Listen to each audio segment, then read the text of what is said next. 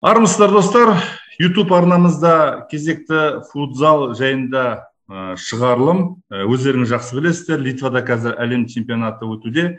Ұлттық құрамамыз күні кеше екінші кездесуін өткізді. Алаңгерлері литва құрамасын үште нөл есебімен жеңді. Бүгінгі менің қонағым ұлттық құрамамыздың белді ойыншысы дәурен тұрсағұлов. Дәурен ассалаумағалейкум ассалаумағалейкум қалыңыз қалай жақсы шүкір өздерің қалай көңіл күй қалай?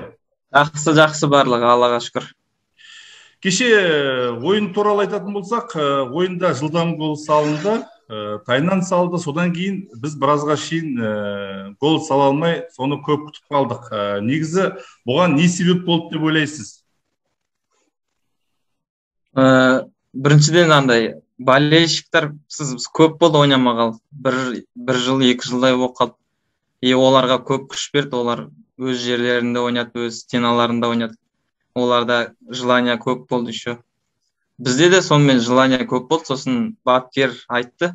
Олармен тактика құрды бірінші таймнан кейін өзі. Айтты сосын. Ә, олармен көп итерісіп керек емес олар физически жақсы тоже. Олармен басқалай ойнау керек деп сол басқандай тактика құрды. Былай сырт көзге қарағанда негізі біздікі енді жаңағы көрерменге байланысты деп отырсың ғой. Негізі литва құрамасы да біраз қорқыңқырап ойнаған секілді. Және мысалы үшін ойын соңында олардың жаттықтырушысы ә, біз грантпен ойнадық яғни мықты командамен ойнадық. Сондықтан да біздің енді қателіктерімізді соңынан қарап көреміз деді.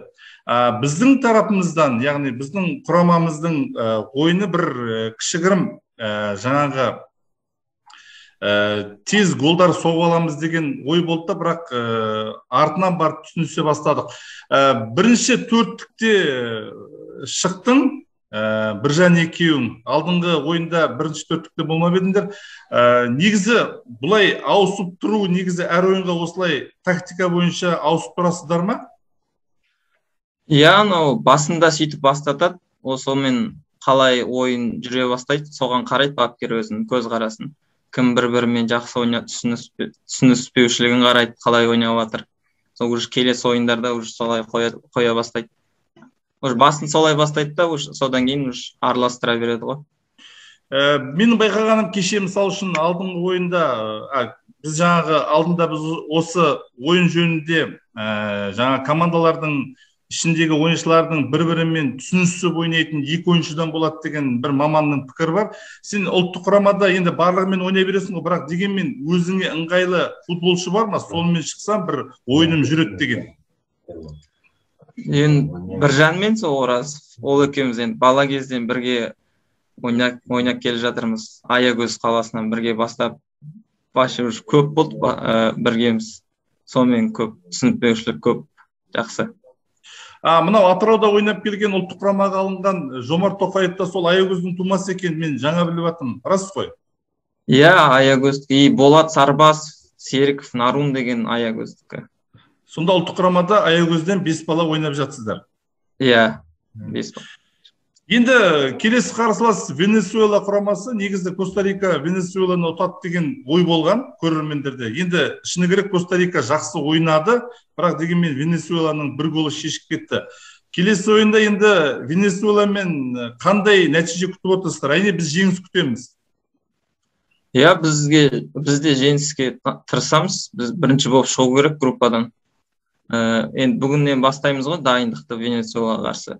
Видеоларын көріп ойындарын көріп а пока былай көрген жоқпыз ойындарын. Бүгін өз зерттейміз бүгіннен бастап.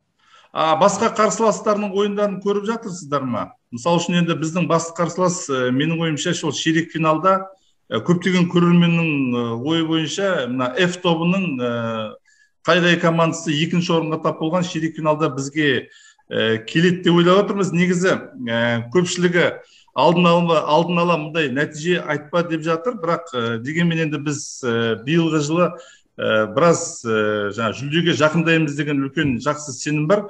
Ә, сондықтан да ә, F тобындағы екінші орын алған команда Б тобындағы екінші орын алған командамен ойнайды.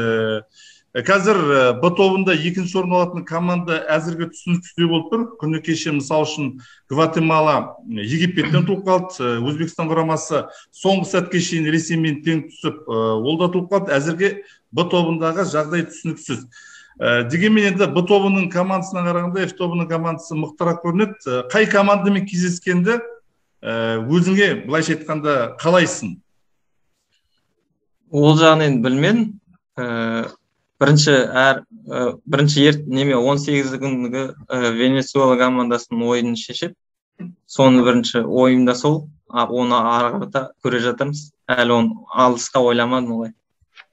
Жақсы бұл енді шынында да әрбір матч бұл соңғы матч деп қарау керек. Яғни соңғы кездесу деп қарау керек. Енді біз енді кішкене алдын алып жатқанымызға кешірім сұраймыз. Бірақ жақсы онда көңіл күй рахмет. Жалпы біз енді көрермендер әрқашан тілеулеспіз әрқашан ойынды тамашалап отырмыз. Біраз көрермендер өз пікірін жазып жақсы қолдау білдіріп жатыр. Сіздердің алдағы ойындарыңызға тек қана сәттілік тілейміз. Он сегізі күні бізді қуантады деген сондай үлкен сенім бар үміт бар. Сәттілік көңіл күйді түсірмей жақсы ойын көрсетіп одан әрмен біздің жаңағы көрермендерді қуантатын ойындар көп болсын. Рахмет аға қолдауларыңызға алға